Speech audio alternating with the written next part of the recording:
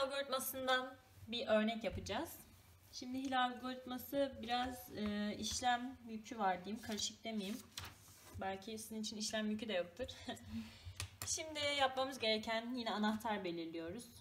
Ama burada anahtarımız 3, 5, 7, 10 gibi herhangi bir şey değil.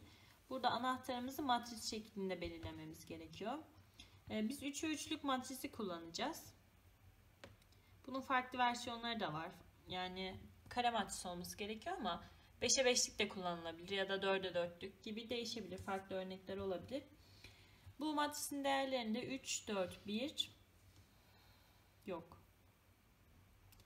3, 2, 4, 1, 3, 5, 0, 2, 1 şeklinde yapıyoruz. Önceden yaptığımız örnek. Evet yani örneğin hani Aynısını yapalım, sağlaması olsun diye. Evet. Şimdi kelimemizde bizim şifrelenecek kelimemizde merhaba. En sevdiğimiz kelime. Evet. Şimdi burada 3 üçlük olduğu için bunu da e, üçlü gruplara ayırmamız gerekiyor. Üçlü gruplara ayırdığımız zaman ne oluyor? Şu şekilde oluyor. Şimdi A burada tek kaldı. 3'e ayırdık. 3'e ayırdık. A tek kaldı. O zaman ekleme yapıyoruz. Random bir karakter ekleyeceğiz. İstediğinizi ekleyebilirsiniz. Biz A ekliyoruz. Çünkü karşılığı 1 olduğu için bir tık daha kolay olacak işlemlerimiz. Şimdi bunların karşılıklarını yazıyorum. B'nin 2, A'nın 1, H'ın 10, R'nin 21, E'nin 6, M'nin de 16. Dörde dörtlük matris yaptığımız zaman dörde mi ayıracaktık? Evet 4'e 4'lük Değil mi? matris yaparsak 4'e ayıracağız. Bu sefer de yine eksik kalanları random istediğimiz karakterlerle doldurmamız gerekiyor. Şimdi kelimeyi belirledik. Anahtarımızı belirledik. Yapacağımız ilk adımı söylüyorum size. Satır sütun çarpma işlemi yapacağız aslında. Ama neyle çarpacağız? Şimdi şurayı bir grup diye düşünüyoruz. Birinci üçlü, ikinci üçlüyü bir grup diye, üçüncü üçlüyü de tekrar bir grup diye düşünüyoruz. Birinci adım için hemen yazalım. Birinci adım. Yapmamız gereken şu ilk kısmı alıyorum. 16, 6, 21.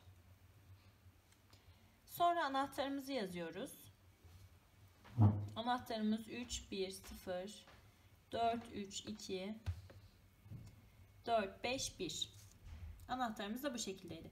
Şimdi satır sütun çarpma işlemi yaptığımız zaman ben bir tanesini göstereceğim. Diğerlerini tek tek hesaplamayacağım. Burayı alıyoruz. Şurayla çarpıyoruz. İlk yapacağımız işlemde yani ne olacak? 16 çarpı 3 artı 6 çarpı 1 artı 21 çarpı 0. Burayı yaparsak 48, 6, 54 gelir. Evet. Şimdi aynısını yine bu satırı alıyoruz. Bu sefer şurayla çarpıyoruz. Yani aslında matris çarpması yapıyoruz. Bunu büyük ihtimal biliyorsunuzdur. 16 çarpı 4 artı 6 çarpı 3 artı 21 çarpı 2. Bunun işlemini yaptığımız zaman burası 92 geliyor. Diğerini, diğeri için yapıyoruz. Şu sütun için yapacağız. 16 çarpı 4 yani birinciyi birinciyle çarpıyorum. Artı ikinciyi ikinciyle çarpıyorum. Artı 6 çarpı 5. Üçüncüyü üçüncüyle çarpıyorum. 21 çarpı 1. Şuradan da kontrol edebilirsin. Bakın birincileri 16 ile ikincileri 6 ile üçüncüleri 21 ile çarptık. Buradan da gelen e, 115 geliyormuş. Ya şimdi tek tek bunları hesaplamıyorum. Çünkü Ya mantığını anlamanız gerekiyor sorunun. Burayı zaten herkes yapabilir yani. Şimdi bunun sonucunu da şu şekilde yazıyoruz. Yine bu matris gibi oluşturuyoruz. Bu neydi? Mesela M harfinin karşılığıydı. Şu an M harfinin karşılığına gelecek kısım 54 olacak. Birinci bulduğumuz. Daha sonra ikinci bulduğumuzu yazıyoruz şurayı. Daha sonra şurayı yazıyoruz. 92, 115. Şimdi bu kalsın. Buna devam edeceğim. Mesela ikinci adım için yapacağız. Bu sefer 10, 1, 2'yi yazacağız. Anahtarı tekrar yazmıyorum. Bunun aynısı. Anahtarı çünkü şurada belirlemiştik. Aynısı. Burada işlem yaptığımız zaman çıkanı söyleyeyim. Yine hani hiçbir fark yok. Burayla şunu çarpıyorduk. Sonra birinciyle ikinciyi, bununla üçüncüyü çarpıyorduk. Burada da. Mesela bunu tutacağız, şurayla çarpacağız. Ne olacak? 10 çarpı 3 artı 1 çarpı 1 artı 2 çarpı 0. Bu şekilde ilerleyecek. Diğeri için de diğeri için bunların hepsinin işlemi yapılacak. Ya ben şimdi tek tek burayı yapmıyorum. Yazıyorum. 10 geliyor. 1 ge- yok pardon. Bu değerler, değerleriydi. Sonuçta bunu tekrar yazmama gerek yok. Bunun çıktısı da burayı şöyle bölümleyelim ya. Şu 3 adım olacak. İkinci adım için işlemleri yaptığımız zaman 31 geliyor, 27 geliyor, 47 geliyor. Şimdi aynısını bu sefer bizim ne için yapmamız gerekiyor? Burayı hallettik. Burayı hallettik. Şurası için yapmamız gerekiyor. 1 1 1. Yine aynen şu anahtarın buraya yazıyoruz. Anahtarla çarpma işlemini birinci ile birinci kısmı, birinci ile ikinci kısmı, birinci ile üçüncü kısmı tek tek çarpıyoruz. Buradan da bir sonuç elde ediyoruz. Buradan elde ettiğimiz sonuç 4, 7, 10.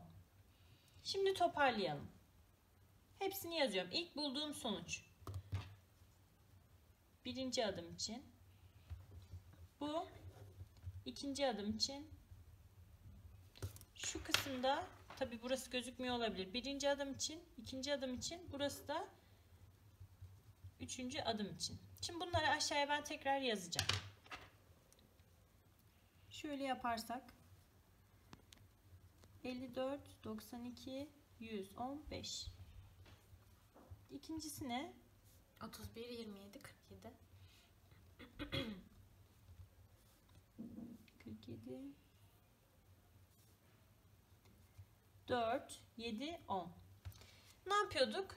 Biz bu rakamları hep bulduğumuz zaman önce alfabedeki mesela M'nin karşılığı 16. Biz bunu buluyoruz.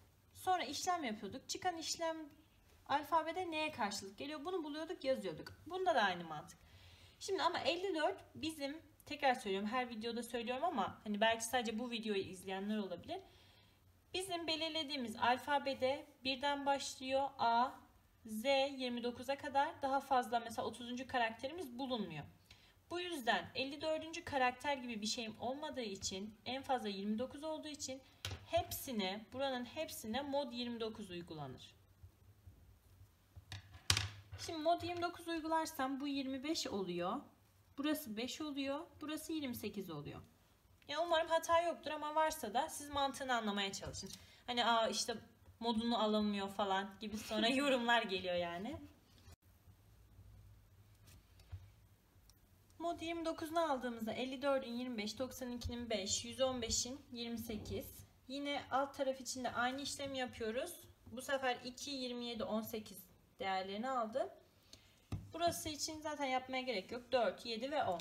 Şimdi yapmamız gereken mesela 25'in alfabedeki karşılığını bulmak. 25'in alfabedeki karşılığı U. 5'in D, 28'in Y. 2'nin karşılığı B, 27'nin karşılığı V, 18'in O. 4'ün karşılığı Ç, 7'nin karşılığı F, 10'un karşılığı H. Şimdi biz neyi şifreliyorduk? Merhaba şifreliyorduk. Bizim ama iki tane de A eklemiştik sonuna. Bizim bu şifrelediğimizin şifrelenmiş hali U, D, Y. Bakın sırayla yazıyorum. B, V, O, Ç, F, H. Şu an şifrelenmiş oldu.